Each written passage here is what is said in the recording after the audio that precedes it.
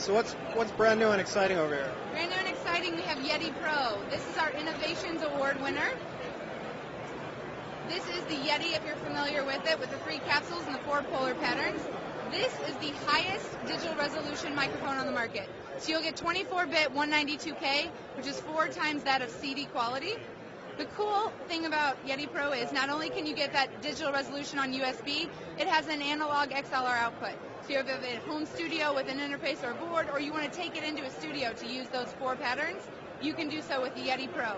It'll be available in January, and it has a retail price of 249. That is Yeti Pro.